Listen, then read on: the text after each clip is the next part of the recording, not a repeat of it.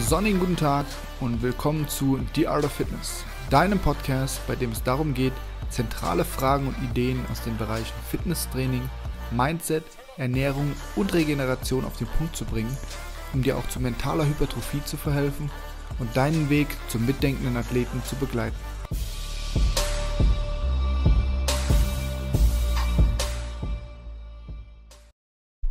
So, da sind wir wieder mit dem zweiten Teil des Biohacking Podcasts mit Max Gotzler. Wir beginnen heute mit der letzten Frage, die von dem ersten Teil noch offen ist. Warum zum Henker macht der Kerl eigentlich Butter in seinen Kaffee und was soll das Ganze bringen? Vor allem, warum schmeckt das eigentlich trotzdem ganz gut?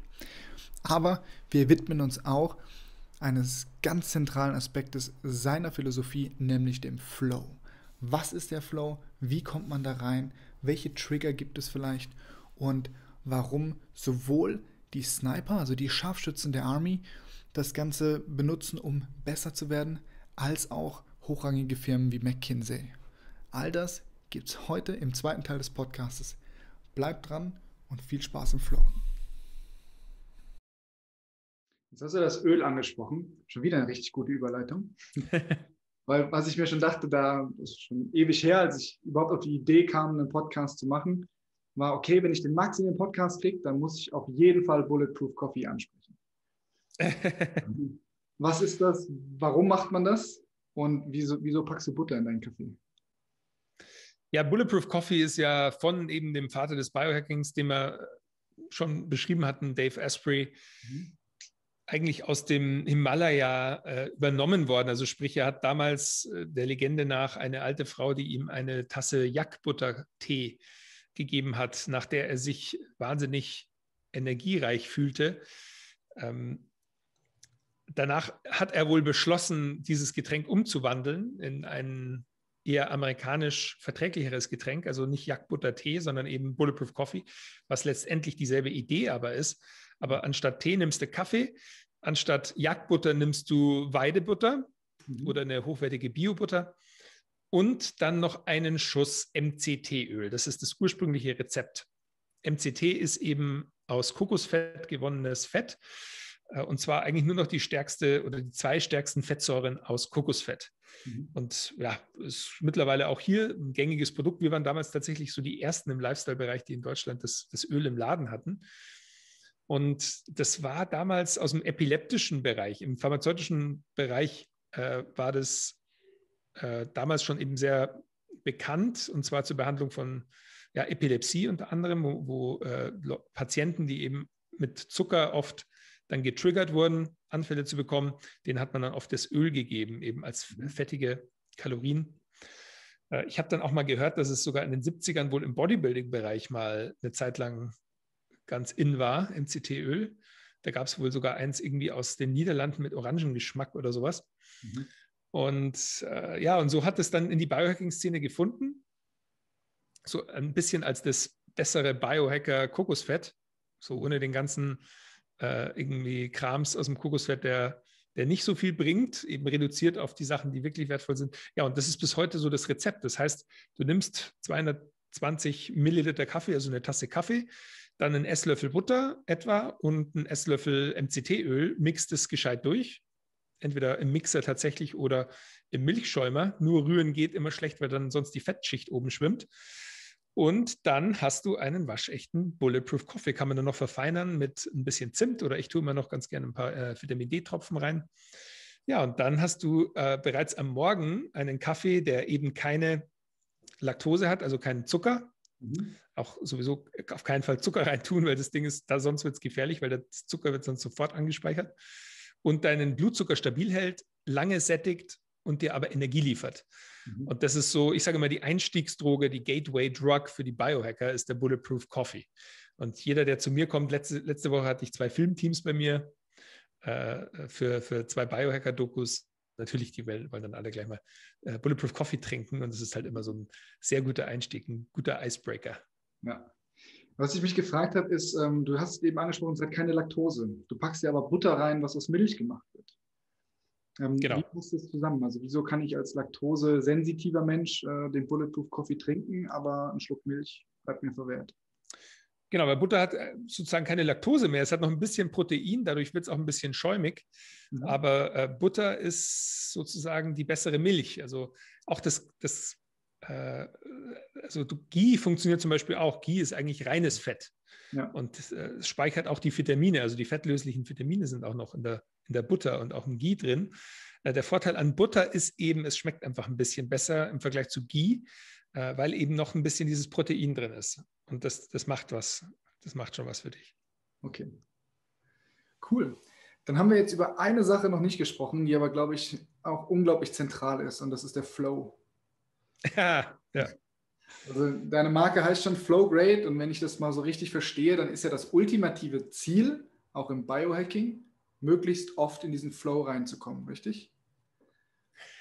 Ja, Art, ganz wieder gute Frage und auch ganz zentral in meiner Philosophie, weil äh, ich bin ja studierter Psychologe dazu. Und mhm.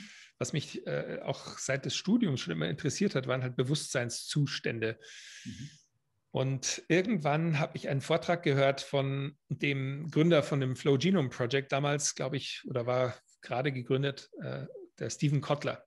Der hat ein Buch geschrieben, The Rise of Superman. Den habe ich dann auch kennengelernt, mal in Los Angeles, habe ihn interviewt äh, und war total fasziniert von äh, ja, seiner Erzählung. Also er beschreibt damals, wie er als äh, Depressiver, der eigentlich kurz davor war, Selbstmord zu begehen, äh, von einem Freund dann zum Surfen überredet wurde und da eben diese Flow-Erfahrung hatte, mhm. die ihn dazu gebracht hat, sein komplettes Leben zu überdenken und irgendwie äh, sich dafür zu entscheiden, jetzt sein Leben mit, mit diesen Hochgefühlen zu füllen.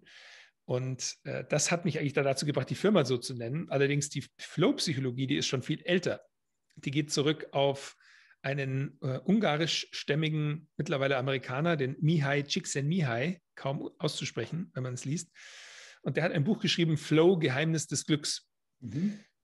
Und der hat eigentlich diesen Begriff Flow mit diesem Zustand in Verbindung gebracht. Also der hat einfach diesen Zustand, in dem du dich selbst vergisst, in dem du im Tunnel bist, in dem du mehr oder weniger in einem Zen-Zustand bist, in dem du, die Yogis sagen Samadhi, also wo du dein Ego komplett ausschaltest, wo der präfrontale Kortex äh, weniger aktiv ist, wo du diesen Tunnelblick hast, wo Zeit relativ wird, mhm. wo du Endorphine und diverse Hormone und Botenstoffe produzierst.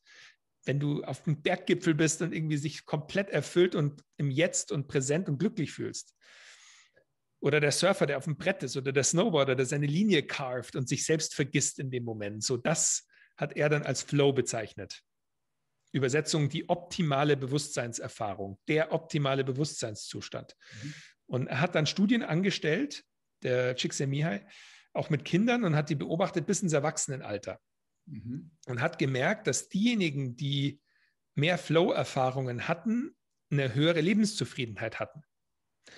Und zwar, das, das Spannende ist, also Flow ist auch nicht so, so einfach zu bekommen, denn äh, der Flow-Zyklus, der mittlerweile auch neurochemisch äh, so nachgestellt wurde, unter anderem von dem Flow Genome Project, da gibt es ganz gute Studien mittlerweile auch, auch aus dem Militär tatsächlich, die waren eigentlich die ersten, die damit auch experimentiert haben. Die haben Sniper zum Beispiel, für dich auch als Soldat äh, interessant, in einen Flow-Zustand versetzt, indem sie den präfrontalen Kortex, eben wo das Ego drin ist, äh, elektro elektronisch oder elektrisch ausgeschaltet haben. Also das nennt man transkraniale Stimulation. Die haben mehr oder weniger einen Elektroschock gekriegt und haben dann die Anweisung bekommen, zu trainieren. Und die Sniper, die in diesem Zustand trainiert haben, die haben bis zu 300 Prozent schneller ihre Fähigkeiten entwickelt, als diejenigen, die eben nicht darin waren. Wow. Und spannend, gell? Ja. Und das haben natürlich dann äh, auch Firmen mitbekommen, wie unter anderem Google und Amazon und äh, noch diverse andere. Und auch Google hat dann äh, Flow Research betrieben und hat versucht, die Mitarbeiter auch, auch die Gestaltung der Offices so zu generieren, dass die irgendwie Meditationszentren hatten und Neurofeedback, um den Mitarbeitern zu ermöglichen, in diese Zustände zu kommen, weil die dann Erhebungen gemacht haben. Unter anderem McKinsey, die Unternehmensberatung, hat eine Erhebung gemacht, dass Menschen im Flow bis zu 500 Prozent mental leistungsfähiger sind weil sie eben Zugang haben zu diesen unterbewussten Prozessen. Also weil sie eben nicht mehr so viel drüber nachdenken, hey, wie schaut das jetzt für andere aus? Oder äh, irgendwie habe ich den richtigen Haarschnitt, um jetzt irgendwie meiner Arbeit nachgehen zu können, sondern eben man verliert sich so in seiner Arbeit. Und ich fand das eben wirklich für mich auch ein wahnsinnig schönes Ziel, weil ich kannte den Zustand als The Zone im Basketball mhm. und kenne das auch vom Schreiben her. Ich schreibe ja gerne und kenne das, wenn du in diesem Writers Flow bist. Also einfach, wenn du, wenn auf einmal die Sonne untergegangen ist und du sagst, krass, wo ist die Zeit hin? Ich war jetzt komplett echt im Tunnel. Und je mehr du dein Leben mit diesen Momenten füllen kannst, weil das Schöne ist, es ist auch gekoppelt an so ein Feedbacks. Bedeutet, wenn du auf natürliche Weise, also eben nicht, wenn du irgendwo in der Disco in Berlin äh, auf irgendeiner Droge tanzt, das ist auch ein diverser Flow-Zustand. Aber wenn du auf natürliche Weise dahin kommst, dann spricht da viel dafür, dass das, worin du dich verlierst, dir irgendetwas gibt. Mhm sei es irgendwie das Gespräch, das dich total inspiriert oder eben die Tätigkeit, die dich voranbringt, weil du merkst, da ist was Gutes dabei, da ist irgendwie ein Juwel gerade und den muss ich jetzt äh, entdecken. Oder im Basketballspielfeld, wenn du einfach merkst, boah, der, das ganze Team ist in so einem Group Flow, so das ja. läuft einfach und es macht Spaß. Das bringt dich dann genau dahin, wo du hin willst. Und deswegen äh, ist für mich das so fast zur Lebensphilosophie geworden. Ich sage mal, wir wollen Flow graden, wir wollen nicht upgraden, Mhm. Weil wenn du es schaffst, dein Leben mit mehr und mehr diesen Momenten zu füllen, dann ergibt sich dadurch eine immer höhere Lebensqualität mhm. und dadurch eine Lebenszufriedenheit. Und äh, mein Ziel ist, genauso wie bei vielen anderen ja auch, also das auch in deiner Arbeit zu finden, in dem, was du eigentlich täglich machst, die Möglichkeit, es geht nicht immer, wenn es einfach wäre, wie gesagt, dann, dann wird jeder nur noch im Flow sein, aber zumindest eine Zeit lang jeden Tag dich im Moment verlieren können. Das ist eine große Errungenschaft. Mhm.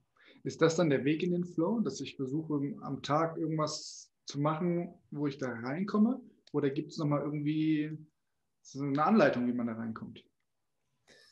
Ja, also es gibt, die, das Flow Genome Project hat 17 Trigger ähm, entwickelt, die dabei helfen können, in einen Flow zu kommen. Einer davon zum Beispiel ist äh, äh, Lebensgefahr. Also sprich, wenn du vor einem Bären irgendwo in, in, in Sibirien stehst auf einmal und äh, dann bist du ganz schnell im Flow, weil dann, dann, vergisst du sofort deine irgendwie Rechnungen, die du morgen noch bezahlen musst. Äh, aber ich für mich, also Csikszentmihalyi hat immer äh, beschrieben, dass Flow die perfekte Balance ist zwischen Herausforderung und Langeweile. Also es ist weder unterfordernd noch überfordernd, sondern du, es ist aber herausfordernd. Also es ist okay es ist gekoppelt, auch der Zustand ist eben anders als ein meditativer Zustand oder auch ein psychedelischer Zustand, ist der Flow-Zustand gekoppelt an eine Aktivität.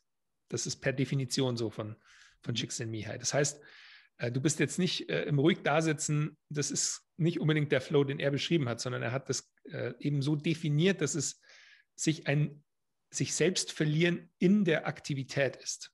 Also beim Klettern, beim Snowboarden, beim Schreiben, beim Sprechen, beim Laufen, beim Bewegen. Und der Csikszentmihalyi hat das beschrieben als die 4%-Regel. Und mit den 4% meinte er, dass es genau dieser Unterschied ist zwischen dem, was du erreichen willst und dem, was du dir selbst zutraust. Mhm. Also eben das klassische Beispiel ist eben dieser äh, 100-Meter-Läufer, der 100 Meter läuft in 10 Sekunden. Und äh, dem du dann sagst, hey, schaffst du das auch in 9,96 Sekunden? und er noch nie unter zehn Sekunden gelaufen ist, aber eben dieser kleine Anreiz, wo sein Hirn dann sagt, okay, warte mal, so ein, bisschen, so ein klein bisschen schneller, so vier Prozent schneller kann ich vielleicht noch laufen, mhm. dann passiert was. Also dann ist er herausgefordert in einer Weise, wo er es für möglich hält, allerdings schwierig und dann hineinkommt. Mhm und dann unter Umständen auch in einem Flow läuft, egal ob er das Resultat erreicht oder nicht. Aber das ist genau diese Herausforderung, die leicht schwieriger ist als dein dir zugetrautes Leistungslevel. Und wie sich das gut überträgt für jemanden, der jetzt, sagen wir mal, äh, einer Schreibtischarbeit auch nachgeht, ist, schaffst du es, deine Tätigkeit oder deine Aktivität zum einen herausfordernd zu gestalten und zum anderen spielerisch. Das, mhm. das sind die zwei Komponenten, wo er meinte, dass Menschen, die es schaffen, sowohl äh, ihre Aktivitäten sowohl herausfordernd als auch spielerisch äh, nachzugehen, diejenigen schaffen es am meisten in den Flow. Und deswegen ist es eben so, dass äh, sehr, sehr viel bei Leistungssportlern oder Extre Extremsportlern beobachtet wurde, die eben an ihre Leistungsgrenzen gehen, aber immer, wo diese spielerische Komponente mit dabei ist. Und eben, was man machen kann, ist aus, aus einem Projekt oder einer äh, Aufgabe, die man hat, also ich kenne es als Schriftsteller eben, dass du sagst, boah, ich will jetzt das dritte Kapitel schreiben Und ich glaube, ich schaffe es äh, in, in der Woche, aber ich gebe mir jetzt mal vier Tage. Ich glaube, in vier Tagen schaffe ich das.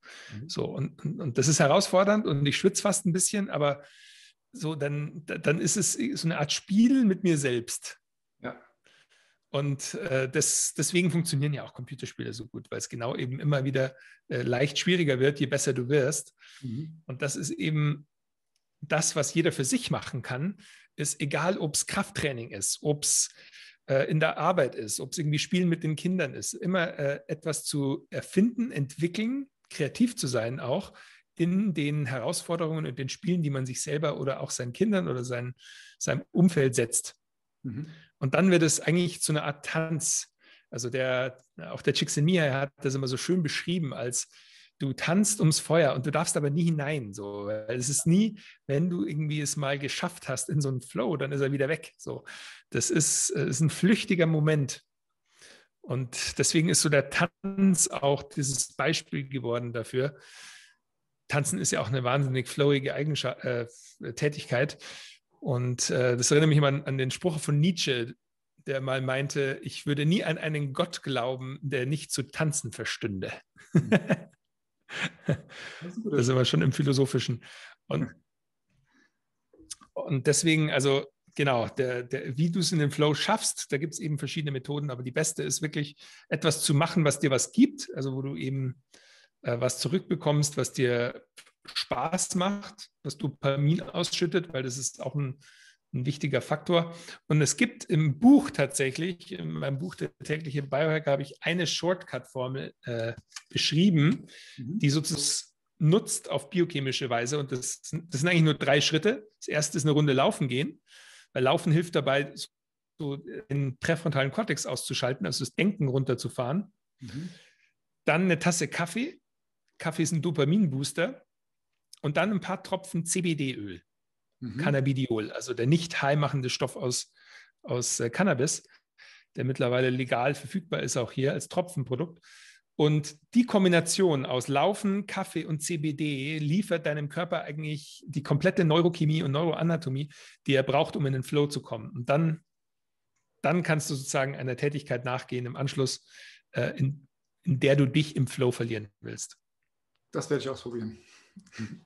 Auf jeden Fall. Wie viel bist du denn im Flow? Kann man das irgendwie messen?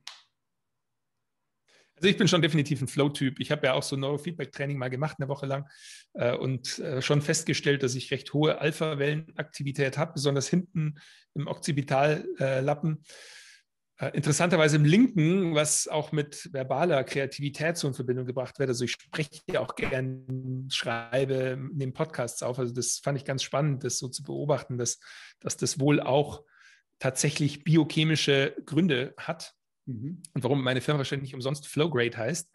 Also ich tendiere schon, mich im, im Moment leicht verlieren zu können, äh, was auch teilweise sehr frustrierend ist für mein Umfeld, wenn sie dann merken, ich bin gerade nicht ansprechbar oder habe irgendwas vergessen, was ich eigentlich machen wollte. Ja. Äh, aber es ist natürlich ja auch zentral in meinem, meinem Job und meinem Leben geworden. Und äh, ich habe aber gleichzeitig auch wieder immer die Herausforderungen, nicht zu sehr in dieser Beta-Welt zu leben, also in dieser schnelllebigen, reizüberfluteten Welt und muss mich da auch aktiv schützen. Also es ist für, auch für mich immer so ein Tanz. Aber ich würde schon sagen, im Vergleich zu anderen bin ich bestimmt ja, wahrscheinlich dreimal so viel äh, im Flow, weil ich halt auch es äh, mir so ausgesucht habe. Also weil ich halt mein, äh, meine Tätigkeit oder auch mein Lebensunterhalt ja, mit Schreiben und, äh, und Content verbringe, das mich in den Flow bringen kann. Das ist halt das Schöne. Mega. Dann hätte ich tatsächlich noch eine abschließende Frage, also inhaltliche abschließende Frage. Die wäre, wenn du nur einen Biohack vermitteln dürftest, welcher wäre das? Ganz einfach, das ist das Atmen. Und zwar, es klingt wieder so, oh, atmen. Aber mit dem Atem kannst du so viel machen. Äh, allein die Komplexität dieses Biohacks macht es schon so attraktiv. Und es ist das Erste, was wir als Menschen tun, wenn wir geboren werden, und das Letzte, was wir tun, wenn wir äh, eben nicht mehr äh, leben. Und das Atmen ist der direkte, die direkte Verbindung zu unserer wirklich ursprünglichsten Natur. Mhm. Und über den Atem hast du auch ein Werkzeug, ich sage immer die Fernbedienung für dein Nervensystem, mit dem du deinen ganzen Körper verändern kannst und zwar akut, sofort in diesem Moment. Also wenn ich dir jetzt zum Beispiel sage, atme, atme durch die Nase in den Bauchraum und atme ein bisschen länger aus als ein, allein dadurch aktivierst du schon deinen Parasympathikus, du bist ein bisschen entspannter, so du merkst, wie deine Körperhaltung sich ein bisschen entspannt, wie ein bisschen Stress aus den Schultern rausgeht. Und jemand, der jetzt zum Beispiel gerade irgendwie mit Schultern nach vorne, flache Atmung in die Brust, irgendwie Nacken gebeugt vor einem Handy sitzt, der muss einfach mal seine Körperhaltung ein bisschen korrigieren, indem er einfach aktiv mal durch die Nase einatmet, indem er einen geraden Rücken hält und in den Bauch. Im Bauch wird mehr von dem Sauerstoff aus der Luft in das Blut übertragen, im Bauchraum, weil da einfach mehr Blut vorhanden ist. Und da bekommst du gleichzeitig auch noch eine Ausschüttung von Stickstoffmonoxid äh, über die Nase, was auch noch entstressend ist. Es gibt weiter die Gefäße und äh, das ist eben, das wird in den Nebenhöhlen ausgeschüttet und die Nasenatmung allein führt schon zu einer, ich glaube, 20-prozentigen äh, erhöhten Stickstoffmonoxid, NO2-Ausschüttung. Mhm. Und dadurch kannst du ganz einfach dein System entstressen. Und gleichzeitig über die Atmung kannst du es aber auch aktivieren. Eben klassische Wim Hof-Atmung, wo ja. du eher äh, aktiv und energetisch atmest. Bisschen schneller. Und das aktiviert dein System und du durchflutest deinen Körper, verschiebst sogar ein bisschen die, die Sauerstoffbindungskurve, drückst ein bisschen mehr Sauerstoff tief ins Gewebe rein. Und äh, das kann dir dann letztendlich dabei helfen, auch mentale Blockaden zu lösen, dein Immunsystem zu aktivieren, das zu trainieren. Also die Atmung ist ein super Weg, um eigentlich den ganzen Körper auf irgendeine Weise zu beeinflussen. Und dann gibt es ja so viele verschiedene Atemtechniken. Mhm. Also zum Beispiel aus dem Yoga kennen wir die irgendwie Nasenlochatmung, ja, genau. Ein durch äh, das linke Nasenloch und so weiter. Dann gibt es die Wim Hof-Atmung, dann gibt es die die Warrior-Atmung, die Bauch-Krokodilatmung, wo du auf dem Boden liegst, mehr oder weniger, und nur in dem Bauchraum einatmest und irgendwie so da liegst auf, auf den Händen. Also äh, da kann man sich irgendwie total austoben. Und äh, gleichzeitig die Atmung kannst du überall einsetzen, sei es beim Training. Also die neuseeländischen Rugby-Spieler, die kleben sich schon den Mund zu oft, äh, wenn sie trainieren, damit sie eben die Nasenatmung trainieren. Mhm die ein bisschen anstrengender ist und wo man auch irgendwie irgendwann mal fast Panik bekommt, weil du das Gefühl hast, du kriegst nicht genug Luft. Mhm. Aber das eben dir dabei hilft, mit dem Sauerstoff besser zu rationieren im Körper. Äh, es gibt äh, auch beim Essen kannst du eine Verdauungsatmung machen, letztendlich nach dem Essen. Also das ist ein extrem vielseitiger Biohack. Und deswegen äh, wäre meine jetzt kurze Antwort auf deine Frage die Atmung. Okay, sehr geil. Das äh, sollte offensichtlich nochmal ein spannenderes Thema werden und eins, was wir vielleicht mal ausführlicher diskutieren in der Zukunft. Ja, glaube ich auch. Also das ist wirklich super, super spannend. Also äh, die, eigentlich jeder von den, von den ursprünglichen evolutionären Sachen, auch Kälte ist so ein spannendes Thema. Fasten ist ein spannendes Thema. Also es, es gibt da wahnsinnig viel, was man sich anschauen kann. Äh, es, ist, es hört nicht auf. Langweilig. Es wird nie langweilig. Das ist ja gut so, ne? Sonst äh, kommt so. als äh, Content Creator wahrscheinlich auch weniger in den Flow, wenn es irgendwann aufhört.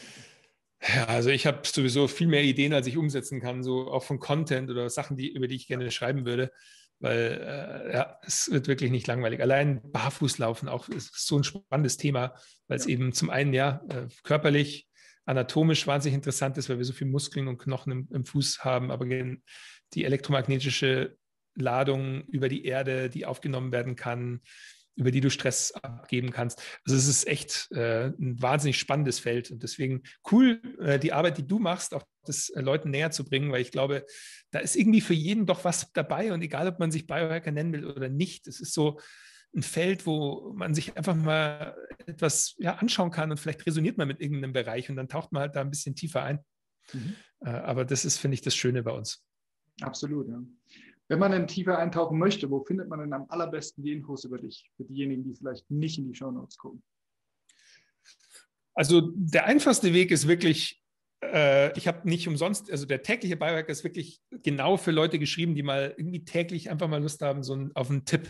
Sondern eben nicht zu komplex, sondern wirklich alte Weisheiten, moderne Sachen einfach verpackt in 366 tägliche Impulse. Mhm. Äh, und sonst auf meiner Webseite auf flowgrade.de. Da sind alle die Podcasts und Blogartikel und Produkte, die wir haben. Äh, und äh, da kann man sich definitiv einige Zeit mal aufhalten. Sehr gut. Und wer äh, gerne täglich, aktuell zumindest, was von euch hören möchte, der kann auf Clubhouse mit reinschauen. Ja, genau, ja. Also je nachdem, wann, ich bin mal gespannt, wie wir das noch mit dem Pensum durchhalten. Ich habe ja vor, das mal äh, wirklich ein Jahr durchzuziehen. Schauen, ob wir das schaffen. Also immer unter der Woche, Montag bis Freitag, 8 Uhr, manchmal 8.30 Uhr. Und immer spannende Sachen. Und du bist ja auch hin und wieder dabei und äh, bald auch zu hören. Deswegen schaltet euch definitiv ein. Sehr cool. Gut, dann vielen Dank schon mal für deine Zeit. Ich freue mich auch, dass äh, die Technik dann doch noch mitgespielt hat, auch wenn wir es am Ende über den äh, iPhone-Hotspot machen mussten. Aber sehr schön, dass es gehalten hat und dass unseren Flow weiter unterstützen konnte. Ähm, es hat mir unglaublich ja, viel Spaß gemacht. Und ich hoffe, es war nicht das letzte Mal. Ja, danke, Art. Mir auch. Auf keinen Fall. Das war's mit der heutigen Episode. Schön, dass du mit dabei warst und dich als mitdenkender Athlet weiterentwickelt hast. Wenn dir die Episode gefallen hat, teile sie bitte und vergiss nicht, den Podcast zu bewerten. Denn nur mit deiner Hilfe können wir es schaffen, möglichst viele Menschen dazu zu motivieren, zum mitdenkenden Athleten zu werden. In diesem Sinne, walk the talk und finish strong, dein.